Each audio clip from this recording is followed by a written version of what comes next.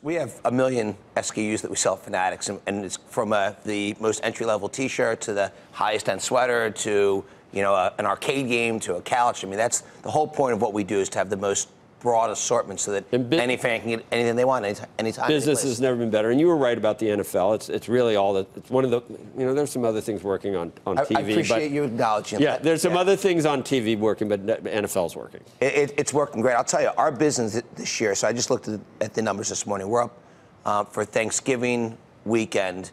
We're up 25% against big numbers last year. So I'd say sales are incredible. But NFL is actually outperforming that. So NFL's been great. Okay, so I want to know about the customer acquisition cost right now. Yeah. In this environment, are you? Is it social media for you? Is it you have a, probably a lot of people who are just googling certain certain teams and things and finding you there? Yeah. But I assume then you're paying you're paying Google for that too. Look, we spend a lot of money on marketing. Right. Our marketing costs continue to get more efficient each year. What's different this year from previous years is social, paid social media is really working. So that's a double-digit percentage of our revenue this year. Last year it was very small. And the What's year the before it was budget look meaningless. like in terms of how you how, how, how you divvy up the money between a Facebook, even within Facebook, Facebook, Instagram, Yeah. versus Twitter, versus Google, versus Yeah, so if I keep it real, I'd say the two big spends would be um, Facebook for Facebook and Google. And I'd say um, two no years, Instagram, two- nothing. It's growing quickly, but still very, relatively Snap, small. Snap, nothing. Very small. Very, very and small. Twitter zero.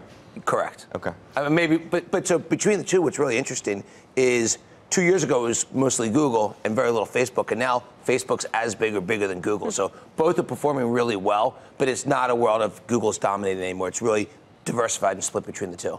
Hey, Michael, let me ask you the, the stocks of all the broadcasters, the, the companies that actually have the rights to broadcast NFL right now, were hit recently on a report that Amazon is going to be getting into the bidding to try and buy more sports rights and the sports networks. Yeah. Um, does it matter to you if the NFL is actually broadcast or if it was done exclusively on an Amazon or another website? Yeah, I, I, so I've been firm for the last several years that my thesis is that you, traditionally you've had five broadcasters that have bid for rights, and going forward you're going to have the digital guys all enter. So you've gone from five guys to ten guys that are going to be bidders for the rights. I think Amazon's done a great job with uh, the Thursday night package. I think that's kind of been their test.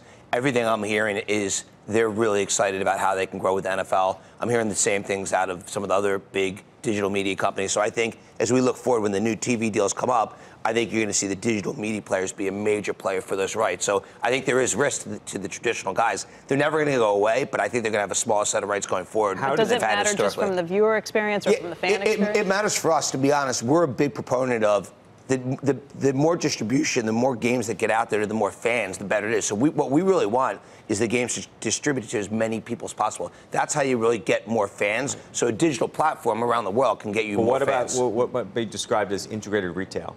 So if Google starts broadcasting football or Amazon Yeah. starts broadcasting football, could be great for you in some ways, but also could be more complicated for you in other ways. Yeah, I think it's only great for us. I mean, most of what we sell, and this is what people, you have to keep reminding yourself, most of what we sell is exclusive. You have the to- license, so nobody yeah, else it's, can do it's it. exclusive to us. And if you go to Amazon that you keep talking about, you can't find 90% of what we sell at Amazon because it's exclusive to Right. our sites online. But So why wouldn't they eventually get into the bidding rights for your licenses too?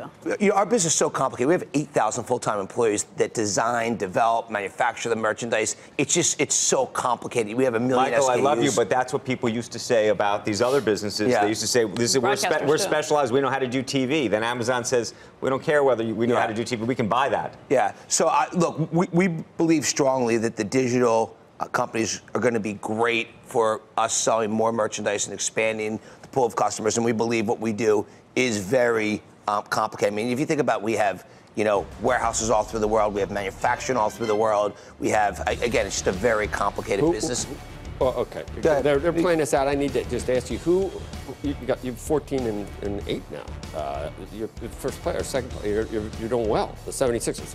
Who are you afraid of right now? Who's who's the other teams that they're, that worry? Well, I'm a very paranoid individual, so I'd You're be afraid of I'd everybody? be afraid of the other Because- 29 teams. And by the way, we showed that when we lost against the Cavs on Right. on uh, Now, you Friday know that night. they- I, I said I said I was joking with the guys before the game. You know, we haven't lost at home since March of last year.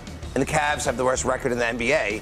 and of course, what happened? The Cavs look at us as it's our Super Bowl. They play up to us. You know, I don't have a And- team. I mean, I like the 76ers, but the Bucks too. And I'm, you know, I know Edens and Lasry too. So you're closer. You have an advantage with me. If And, I, and I, you keep trying to show your loyalty, and then you try to take it back away. Well, we, I we need you to get a Sixers tattoo Okay. to show your real loyalty to us. That's the